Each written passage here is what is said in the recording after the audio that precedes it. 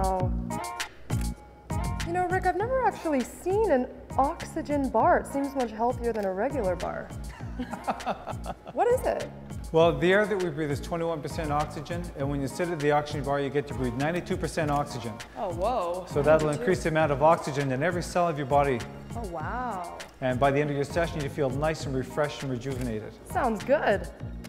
So where's your store if I want to come by with a uh, friend and suck back some oxygen? Where do I go? Well, we have, there's other locations in the lower mainland, but we are based as a mobile business. So we Oh. cater to special events and we go to where the people are.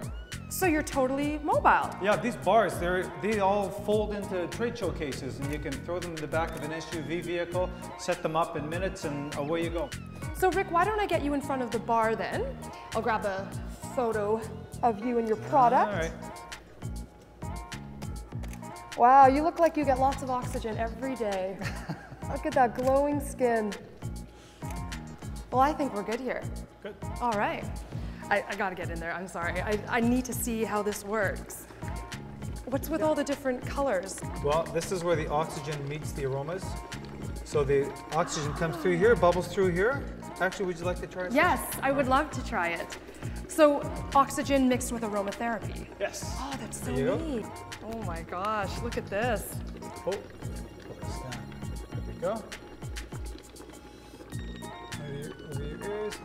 Around the Tuck ears. this up Tuck. and plug into here. Here we go. Voila. There you go. So right now you're breathing chillin, which is eucalyptus, and you're at the you're at the steering wheel right there, so you can change the aromas as you wish. Oh, neat. Oh, this one brings me back. This one is like being a kid and eating those candies. Yeah. Oh, Dara would love this.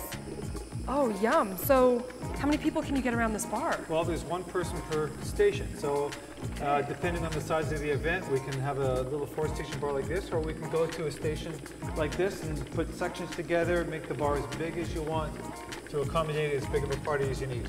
How long is a typical session? How long can I stand here for? Uh, between five to 15 minutes. Oh, really? This is perfect because we can chat. Yeah. We can just sit at the bar, Just hang like out. being at the bar, except it's all good for you. It's healthy. yes. oh my gosh, this is great.